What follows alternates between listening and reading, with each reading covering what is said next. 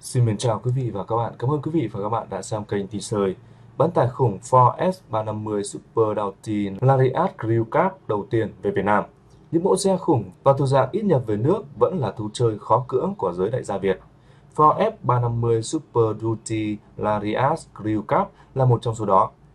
Super Duty là tên phiên bản dựa trên các mẫu pickup hay còn gọi là bán tải F-Series của Ford, bắt đầu từ phiên bản nhỏ nhất là F250 những dòng Super Duty nổi tiếng với khả năng chuyên trở ấn tượng cùng với thân hình đồ sộ tương xứng.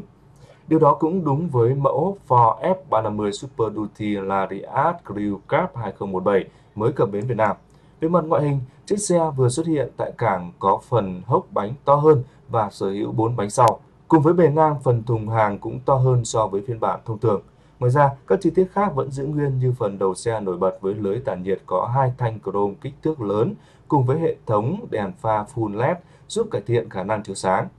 Mặc dù là một chiếc xe bán tải nhưng Ford F350 Super Duty Lariat Crew Cab vẫn sở hữu một khoang nội thất đủ sang trọng với phần tam lô, ghế, tựa tay, hoàn toàn được bọc da và các chi tiết chrome sáng bóng. Ngoài ra, phần bảng tam lô trước mặt hành khách cũng xuất hiện dòng chữ Super Duty sáng bóng. Đi cùng với thân hình lực lưỡng đó là động cơ diesel V8 dung tích 6,7 lít Power Tracker Tăng áp tạo ra 440 mã lực và mô men xoắn tư đại lên tới 1.254 Nm tại vòng tua rất thấp chỉ có 1.800 vòng trên phút. Đi cùng với đó là hộp số tự động 6 cấp. Với sức mạnh như vậy, Ford F350 Super Duty có khả năng kéo lên tới hơn 14 tấn hàng ở phía sau. Giá bán của Ford F350 Super Duty Lariat Crew Cab có giá bán tại thị trường Mỹ khoảng 50.000 đô la.